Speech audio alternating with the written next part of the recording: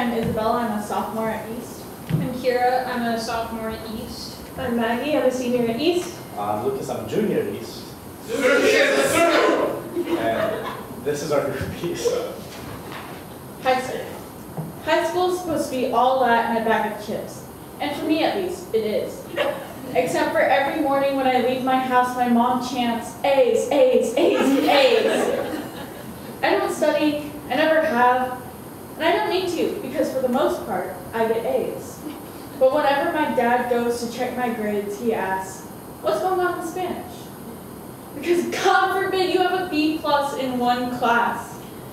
Because that wouldn't be getting A's, A's, A's. I like school, I honestly do. But when one of my friends found out I don't take any AP classes, he said, no wonder you like school. All your classes are easy. But they aren't. Behind the A's is a kid struggling to understand the questions in a reading packet for English and takes forever to grasp the simplest math concept. And the B in Spanish is because I can barely read English out loud. But for the most part, I still get A's, A's, A's. You know, high school kind of sucks. My worth is equated to grades and appearance, but oh, the good old days, right? It's supposed to be just the best, isn't it?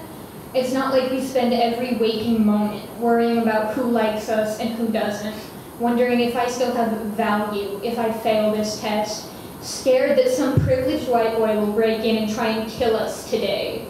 But it's not like we have actual problems. We're just kids.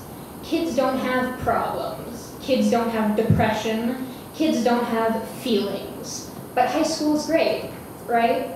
My freshman year ended with a pandemic and batch soup jokes. Romeo and Juliet was a Google Doc I read on the floor of my room between my crying sessions and losing my best friend. Sophomore year was much of the same. I don't know if it's fair to say I got high school experience when the last quarter of one year and the first three quarters of the next were spent in my basement, barely scraping by. I didn't get homecoming. I didn't want to go to homecoming, but I wanted that to be a choice.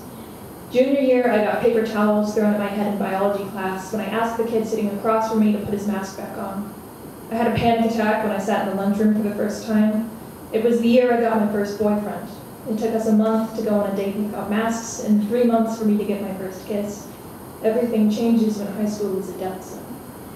Senior year was supposed to be normal, the year I can finally do it all. No more masks, less hand sanitizer, hope for a smooth ride. Three kids died in six weeks and I gave up. I'm not going to get my high school years. I'm here in desperation. People are asking me if I'm excited for college. I don't feel like I got my fair shot out of eighth grade. God, am I a junior now? I guess school really isn't my strong suit.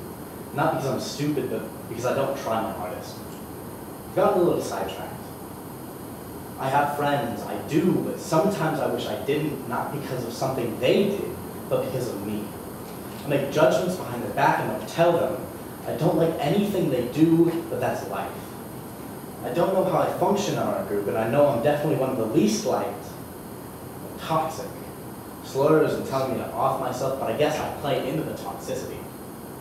Who am I? Someone who lies about the simple details of life that no one truly cares about? Who am I? I'm flawed. My friends and family barely know who I am. Who am I? I don't know. I feel as if I'm losing my mind. Who am I? I'm who I, I'm whoever I choose to be. Who am I?